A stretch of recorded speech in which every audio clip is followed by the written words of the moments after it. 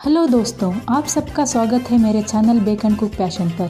Please मेरे channel को subscribe कीजिए और बेल आइकन को हिट कीजिए।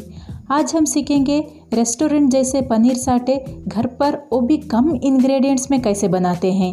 तो चलिए जान लेते हैं इसके इंग्रेडिएंट्स तो सबसे पहले 250 ग्राम पनीर ले लीजिए और इसको आप स्ट्रिप्स में काट लीजिए।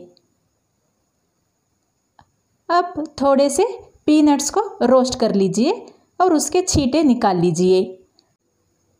अब हम पीनट्स को थोड़े मोटे पीसेस में क्रश कर लेंगे। हमको इसका फाइन पाउडर नहीं बनाना है दोस्तों तो इसको आप ग्राइंड मत कीजिए, सिर्फ़ क्रश कर दीजिए।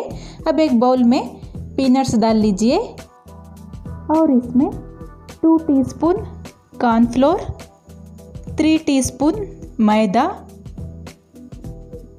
टू टीस्पून टमाटो सॉस एक टीस्पून सोया सॉस, एक टीस्पून विनेगर, एक टीस्पून सिजवान चटनी, एक टीस्पून जिंजर गार्लिक पेस्ट और एक teaspoon red chilli powder add कर लीजिए। अब इसमें स्वाद अनुसार नमक डाल लीजिए।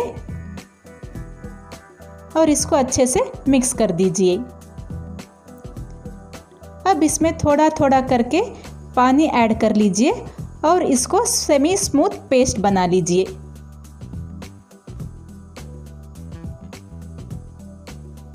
आप देख सकते हैं इस पेस्ट की कंसिस्टेंसी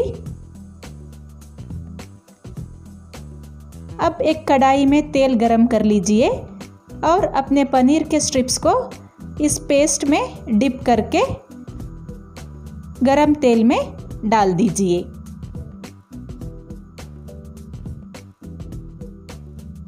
अब इसको हाई फ्लेम के ऊपर हमको फ्राई करना है दोस्तों।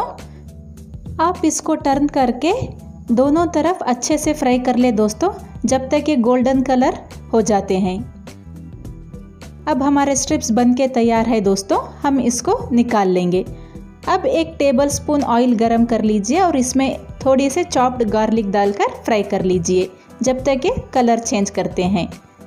अब इसमें थोड़े से क्रस्ट पीनट्स डाल लीजिए और इसमें टू टीस्पून टमाटो सॉस एक teaspoon soya sauce half teaspoon schezwan चटनी और थोड़ा सा पानी ऐड करके मिक्स कर दीजिए। और हाफ़ टी स्पून विनेगर डाल लीजिए। और एक टीस्पून रेड चिल्ली पाउडर डाल लीजिए। और थोड़ा पानी ऐड करके करीबन हाफ़ कप इसको लो फ्लेम के ऊपर दो से तीन मिनट पकने दीजिए। जब तक ये पकते हैं, हम अपने पनीर के पीसेस में स्टिक्स इंसर्ट कर लेंगे। ये ऑप्शनल है दोस्तों, मेरे पास स्टिक थी तो मैंने इंसर्ट कर दिया ताकि ये अच्छे दिखें। अब हमारी ग्रेवी बन के तैयार है दोस्तों। अब इसमें नमक डाल लीजिए। सॉसेस में भी नमक होता है दोस्तों तो आप देख कर नमक डाल लीजिए। अपने पनीर के पीसेस ऐड करके अच्छे से मिक्स कर दीजिए। अब इसमें एक टीस्पून हनी डाल लीजिए। इसको भी अच्छे से मिक्स कर दीजिए। ये देखिए आपके स्वादिष्ट पनीर साटे बन के तैयार है दोस्तों। इस रेसिपी को ज़रूर ट्राई कीजिए और कमेंट सेक्शन में मुझे शेयर कीजिए अपना एक्सपीरियंस इस वीडियो को देखने के लिए आप सबका धन्यवाद।